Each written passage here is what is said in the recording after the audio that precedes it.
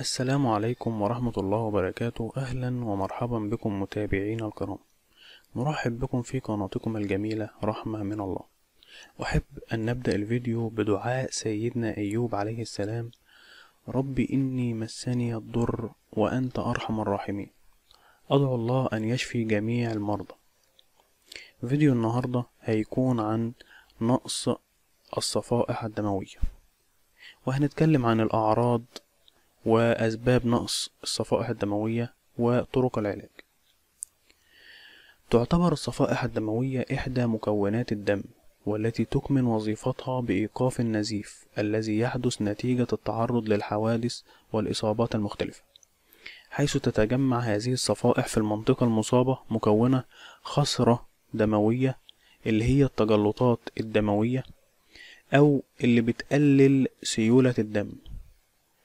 فبتمنع حدوث النزيف وتمنع فقدان كمية كبيرة من الدماء. وعلى الرغم من توفر بعض الأدوية التي تساعد على زيادة عدد الصفائح الدموية إلا أنه يمكنك القيام بذلك بشكل طبيعي فتوجد بعض الأطعمة التي تعتبر من أفضل العلاجات الطبيعية لزيادة عدد صفائح الدم.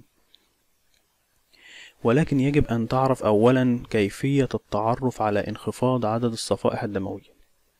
فالصفائح هي عبارة عن إحدى خلايا الدم التي تساعد على إنتاج جلطات الدم والتي تحمي من نزيف الجروح كما تستطيع إصلاح الخلايا التالفة أيضا وعدد الصفائح الدموية يشير إلى تركيزها في الدم فالعدد الطبيعي يبلغ من 150 ألف إلى 40 ألف لكل ميكرولتر من الدم ونقصان عددها يسبب عجز عن أداء وظائفها الأمر الذي يهدد الوضع الصحي للشخص المصاب.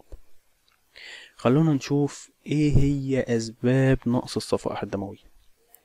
هناك الكثير من الأسباب التي تؤدي إلى نقص في عدد الصفائح الدموية الخاصة بك ومنها يمكن أن يحدث نقص الصفيحات المناعي بشكل وراثي ولكن أيضا يمكن الحصول عليه من العديد من الحالات الطبية.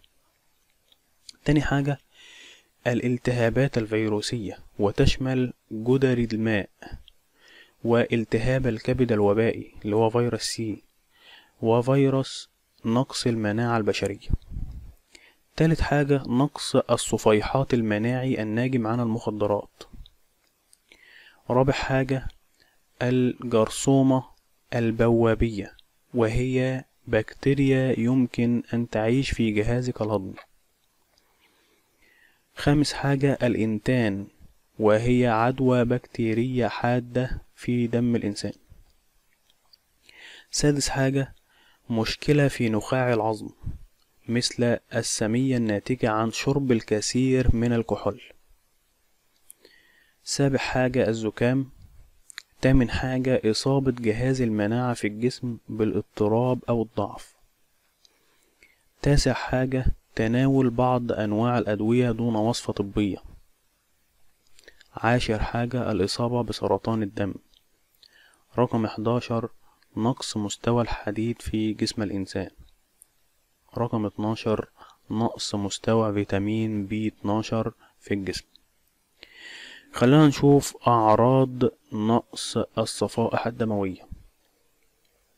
فهناك بعض الأعراض التي يمكن ملاحظتها عند الإصابة بنقص الصفائح الدموية ومنها واحد نزيف اللثة أو الأنف وتعاني النساء بشكل خاص من نزيف أشد قوة بالإضافة إلى إمكانية حدوث النزيف لديهن في مجرى في البول. تاني حاجة نزيف الجروح المستمر. تالت حاجة الطفح الجلدي. وهو بقع حمراء مستوية على بشرتك وخاصة في ساقيك وأقدامك وقد تظهر على شكل كتل. رابع حاجة ظهور بقع وكدمات حيث يكون لديك مناطق كبيرة من النزيف تحت الجلد تكون أشبه بالكدمات التي تصيبك من الضرب أو السقوط.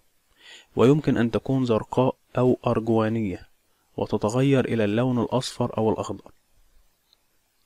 خامس حاجة وجود دم في البراز. سادس حاجة وأخيرا بعض الأشخاص قد يعانون من الوهن والضعف. وأخيرا خلينا نتكلم عن طرق العلاج الممكنة. عندما تحتاج للعلاج فإن الهدف هو الوصول بعدد الصفائح الدموية إلى مستوى مرتفع بما فيه الكفاية لمنع النزيف الخطير في القناة الهضمية أو الدماغ. إليك أهم العلاجات الممكنة. واحد طبعا في علاجات دوائية إحنا مش هنتكلم عنها هنا وديت لازم فيها استشارة طبية. تاني حاجة برضو العمليات الجراحية. فإذا كانت العلاجات الدوائية لم ترفع من مستوى الصفائح الدموية لديك بشكل كافي فقد تستفيد من عملية إزالة الطحال. فالطحال هو العضو الذي يدمر الصفائح الدموية. لذلك فإن إخراجها قد يعطي دفعة قوية للعلاج. والحالة دي برضه لازم استشارة الطبيب طبعا دي حاجة أساسية. وأخيرا خلينا نتكلم عن علاج نقص الصفائح الدموية بالغذاء والأطعمة اللي بتساعد على زيادة نسبة الصفائح الدموية أول حاجة تناول الأغذية المحتوية على فيتامين سي. فالأطعمة الغنية بفيتامين C تساعد على تعزيز إنتاج الصفائح الدموية في الجسم. فيمتلك فيتامين C مواد مضادة للأكسدة. ويجب الحصول على النسبة الصحيحة منه التي تقدر بحوالي من 400 ل 2000 ملي جرام وذلك عن طريق استهلاك الطعام مثل البرتقال والبروكلي والفلفل الرومي. وإن شاء الله هنسيب لكم رابط أسفل الفيديو بيتكلم عن فيتامين سي وأهميته والأطعمة التي تحتوي عليه. تاني حاجة تناول الأطعمة الغنية بدهون الأوميجا 3 مثل بذور الكتان والجوز والسمك والسبانخ والتي تساعد على تعزيز الجهاز المناعي مما يعالج مشكلة نقص الصفائح الدموية ويعزز من إنتاجها. تالت حاجة تناول البقوليات العضوية والحبوب الكاملة بالإضافة إلى الخضروات وغيرها من الأطعمة الغنية بمضادات الأكسدة ومضادات الالتهابات والتي تدعم إنتاج الدم والصفائح الدموية رابع حاجة تناول الأطعمة المحتوية على عنصر الفولات. فهو من الطرق المستخدمة في علاج نقص الصفائح الدموية بالغذاء حيث يعرف هذا العنصر بأنه أحد العناصر الغذائية التي تعزز من انقسام خلايا الجسم بطريقة صحية وسليمة كما أنه يزيد من عدد الصفائح الدموية. ويتواجد هذا العنصر في العديد من الأغذية أبرزها السبانخ والحبوب والبرتقال ونبات الهيليون رقم خمسة تناول الأطعمة المحتوية على فيتامين A فهو يساعد على تكوين البروتين والذي يساهم في نمو الخلايا وانقسامها بشكل صحي والحفاظ على سلامة الصفائح الدموية. ومن أبرز الأغذية المحتوية على هذا الفيتامين البطاطا الحلوة والجزر بالإضافة إلى القرع. رقم ستة الأطعمة الغنية بفيتامين بي 12 مثل الديك الرومي الدجاج اللحم البقري السلمون التونة. فهي تزيد من معدل الصفائح الدموية. رقم سبعة تناول الأطعمة التي تحتوي على الأحماض الأمينية حيث أن لها دورا فعالا في تكوين الدم وتعزز من إنتاج الصفائح الدموية. رقم 8 من أفضل الطرق المستخدمة في علاج نقص الصفائح الدموية بالغذاء تناول التمر والذي يحتوي على العديد من العناصر الغذائية.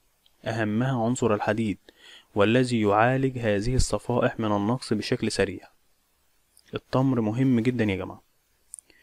رقم تسعة الأطعمة المحتوية على فيتامين كي مثل البيض والملفوف والكبدة. رقم عشرة تناول المشمش مرتين خلال اليوم الواحد وذلك لاحتواء المشمش على معدلات عالية من عنصر الحديد. رقم 11 من الأغذية التي تزيد أيضا من عدد صفائح الدم المحار حيث يحتوي على نسبة عالية من الزنك الذي يقوي جهاز المناعة ويحفزه على أداء عمله. خلينا نقول شوية نصايح وقائية للأشخاص المصابين بنقص الصفائح الدموية. ينصح الشخص المصاب بنقص الصفائح الدموية باتباع بعض الإجراءات الوقائية ومنها استخدام فرشة أسنان ناعمة لتجنب نزيف اللثة كما يفضل الابتعاد عن استخدام خيط الأسنان والمسواك لتنظيف الأسنان. يعني نبتعد عن استخدام خيط الأسنان والمسواك ونستخدم فرشة أسنان ناعمة. رقم اتنين تجنب التمارين الرياضية العنيفة والنشاطات التي قد تعرض الشخص لحدوث نزيف كالملاكمة وكرة القدم وغيرها. رقم ثلاثة الابتعاد عن شرب الكحول. رقم أربعة توخي الحذر عند استعمال الأدوات الحادة كالسكين والمقص وغيرها. رقم خمسة تجنب تناول أي أدوية دون استشارة الطبيب وخصوصا الأدوية المميعة للدم اللي هي تؤدي لسيولة الدم كالاسبرين والمسكنات. رقم ستة كما ذكر سابقا فإن بعض الالتهابات البكتيرية والفيروسية قد تؤدي إلى نقص الصفائح الدموية. لذلك فمن المهم تجنب أي مصدر للميكروبات والالتهابات وذلك باتباع نظام غذائي صحي. للمحافظة على مناعة الجسم ومساعدته على محاربة الأمراض. رقم سبعة حاول تتجنب الكثير من الأطعمة التي تسبب نقص الصفائح الدموية مثل الليمون المر والبطيخ وبعض المشروبات الغازية والأطعمة الخالية من السكر. وبكده فيديو النهاردة عن نقص الصفائح الدموية والأطعمة التي تحفز وتعزز الصفائح الدموية في الدم بيكون انتهى ياريت الكل يكون استفاد. الرجاء منكم جميعا. إذا أعجبكم الفيديو أن تضغطوا على like و share وتتركوا تعليقاتكم. والسلام عليكم ورحمة الله وبركاته.